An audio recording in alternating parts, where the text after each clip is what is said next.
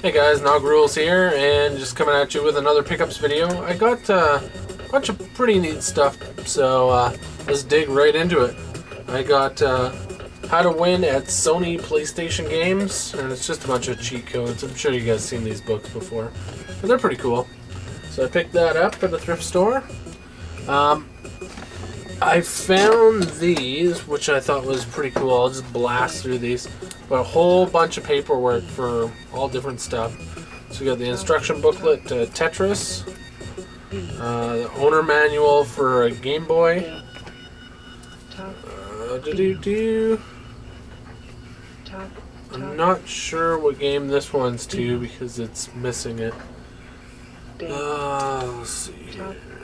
I think it might be Final Fantasy, but I'm not 100% sure.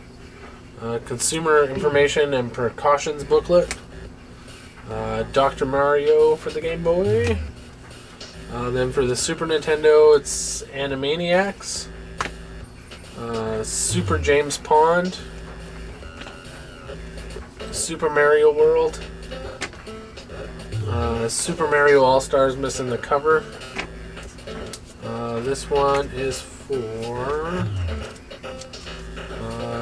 Donkey Kong Country, Donkey Kong Country 2, and the rechargeable battery pack AC adapter for the Game Boy, which I have one of those kicking around, so that was pretty cool.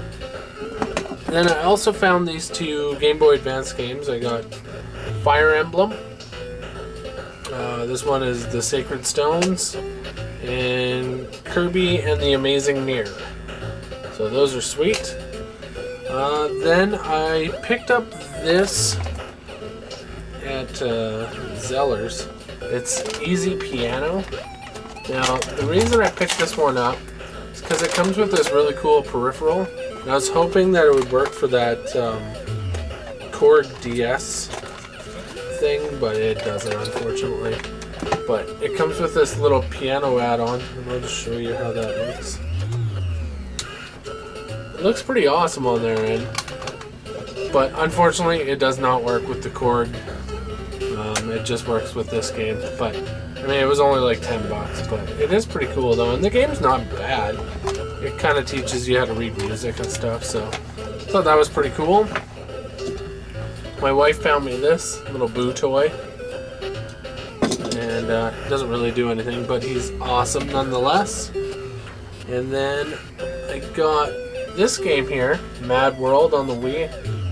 Only paid a couple bucks for it, but it's in mint condition. And I heard it was a good game, so that's why I picked it up. Looks pretty neat.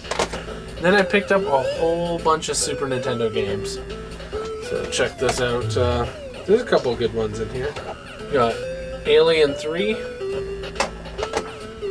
got Toy Story with the label a little bit ripped. MLBPA Baseball. Nigel Mansell's World Championship. Uh, this one looks pretty cool. Uh, Super Ninja Boy.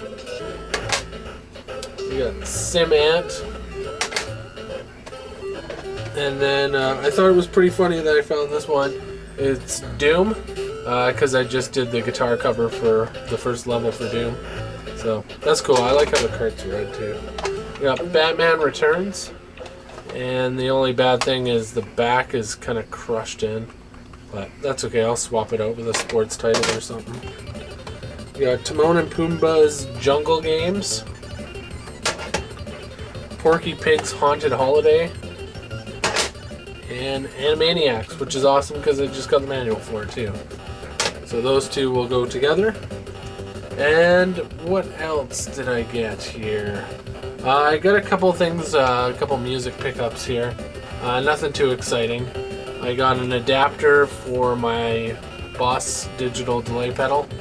So super happy to get that. Now I'm not blasting through batteries. And last one I'll show you here. We'll just pick you guys up. Is I got uh, this dynamic microphone here uh, which is pretty cool. And then I also got this stand that holds up to three microphones on a single stand, so I was pretty excited to get that because now I don't have to always switch my cradles. Because this is the mic I use for recording, and it's a condenser mic, so it uh, has to use a shock mount to hold it, where a regular microphone just uses a regular clip.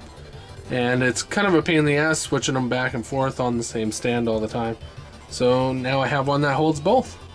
So anyways, that is my pickups video. Hope you guys enjoyed, and I will talk to you later.